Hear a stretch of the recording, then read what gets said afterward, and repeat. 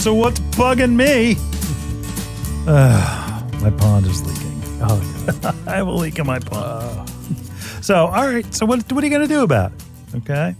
So, here's the series of things. If you own a pond and you, you probably have had a water leaking or disappearing, here's what you need to do.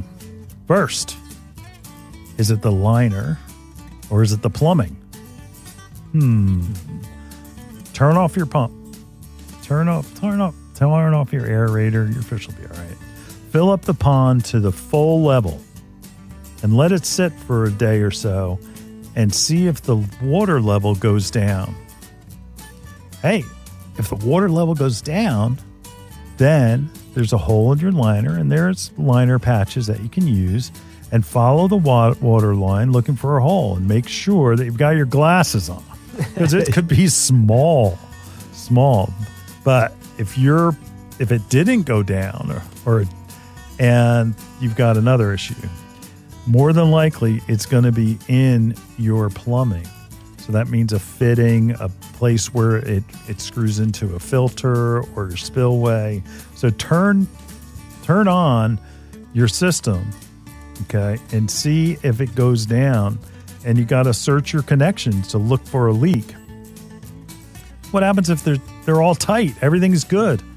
You know, my UV's tight as a drum, nothing wet there. There's no uh, I've got a couple of different fittings. I've got a couple valves. Everything looks good.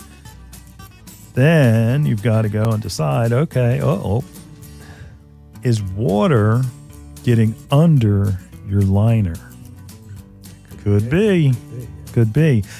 Depending on how the pond was built, um, there could be a spot where you overlaid a piece of liner for a waterfall, and that water from the waterfall is tracing through the waterfall and getting under the liner. Make sure you look for that and make sure it's not getting under a seam. And then you got to also, you know, double check your your plate connections where your skimmer is connected or your spillway is connected to the liner because hey, these things get old and they they pull through and what happens is that creates a gap and you can have a problem there. So I mean that's that's something a lot of times where you'll need to reset that. Um, I tell you, uh, landscape foam, you know, landscape uh, pond foam is important.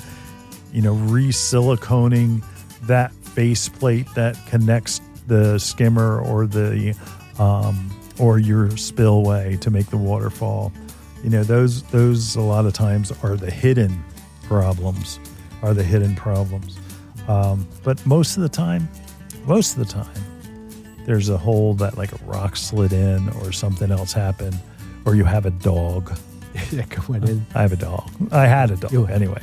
Yeah, I, I had a I had a big happy lab that He loved the water. go in the pond. Oh, it just drive me crazy because he would stink when he got out. anyway, so maybe like his paw Oh, went into it. it. So Yeah. take a look. If you've got questions, or you need help with trying to with anything pond related, please give us a call on the hotline. That hotline number is 609 685 1880.